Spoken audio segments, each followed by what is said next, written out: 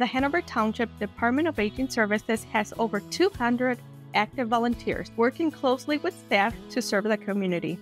There are a variety of volunteer opportunities within that department, including helping at the front desk of the senior center by answering phones and greeting residents, delivering meals to homebound older adults, providing clerical assistance to the social services staff, assisting in the gift shop or in the township Stars and Stride Cafe, overseeing and managing participants of the different social clubs, helping in special events, and more.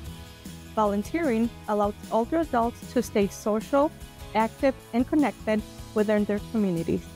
Volunteering also helps people to learn new skills, make friends, or in some cases, help to create a sense of purpose and involvement. Many positions allow flexible hours where you can make your own schedule.